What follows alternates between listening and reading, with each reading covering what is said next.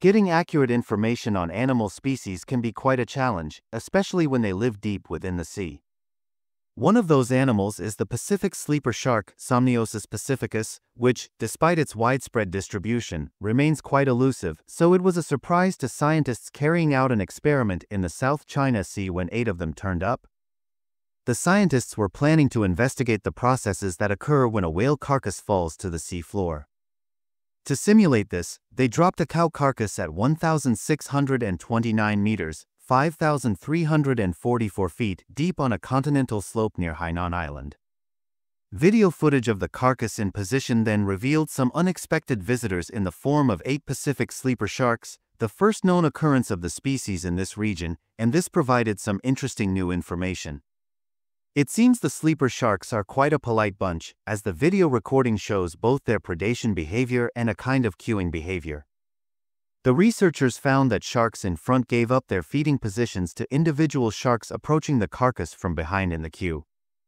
This behavior suggests that feeding priority is determined by individual competitive intensity even in deep water environments, reflecting a survival strategy suitable for non-solitary foraging among Pacific sleeper sharks, said Han Tian, from the Sun Yat-sen University and Southern Marine Science and Engineering Guangdong Laboratory in China, and author of the study describing the findings. In a statement, in addition, the team found that sharks that were 2.7 meters 8.9 feet or longer were more aggressive in attacking the cow carcass compared to the smaller sharks, which were more likely to be cautious and showed deliberate circling behavior.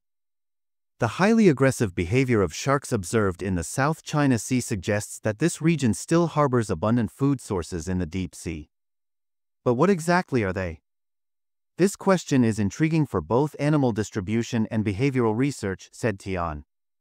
The team also spotted an eye retraction behavior, something they believe is a protective adaptation for the eyes during feeding, as Pacific sleeper sharks don't have the third eyelid or nictitating membrane that's seen in lots of other animal species, like cats and reptiles.